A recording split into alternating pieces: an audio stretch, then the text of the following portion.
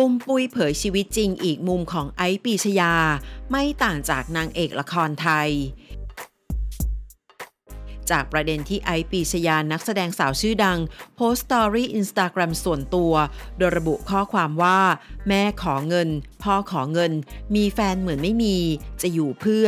โทรหาครอบครัวคนรักว่าไอไม่อยากอยู่บนโลกใบนี้แล้วนะ ทุกคนเฉยเมย ถ้าวันหนึ่งไม่มีไอจริง ๆ ขอให้รู้ว่าเป็นเพราะครอบครัว คนรัก ไม่ใช่เพื่อนหรือแฟนคลับ ที่ตัดสินใจทำให้ไอคิดสั้น ความจริงเป็นสิ่งไม่ตาย หลังจากนี้ไปทุกคนจะได้รู้ความจริงสักที ว่าชีวิตไอ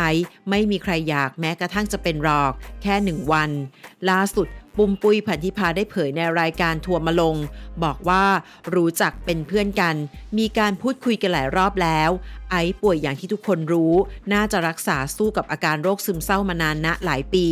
หลายคนน่าจะเห็น story ของไอซ์โพสต์ตัดพ้อจะบอกว่าชีวิตของไอซ์นางเอกละครไทย feel ปลาบู่ทองเหมือนกัน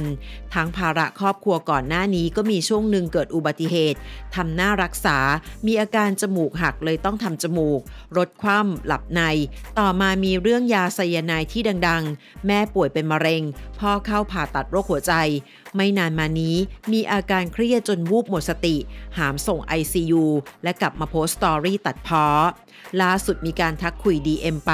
แต่ไม่ใช่ story ล่าสุดนี้นะเขาตัดพ้อบ่อยที่เขาบอกว่าระหองระแหงกับแฟน เราทักไปว่าโอเคไหมไอซ์เนี่ย ปุ้ยรู้สึกว่าเขาค่อนข้างต้องการความรักจากคนที่เป็นแฟน อยากให้คนมาเติมเต็มอะไรตรงนี้ เป็นกำลังใจให้ เขาก็นอย เราก็เลยบอกว่าถ้ามีความสุขกับตัวเองได้ โฟกัสที่ตัวเอง อย่างอื่นช่างแม่งไปก่อน